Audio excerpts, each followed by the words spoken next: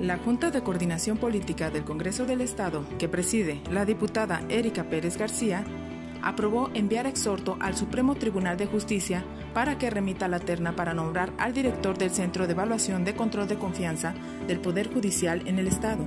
Lo anterior responde a modificaciones constitucionales que dan al Poder Judicial facultades para crear el sistema de evaluación de control de confianza que será el garante de la probidad y honorabilidad de sus funcionarios. También se aprobaron cambios en la integración de comisiones legislativas de Hacienda y Presupuesto, Vigilancia y Sistema Anticorrupción, informó para ustedes Nadia Contreras Aceves.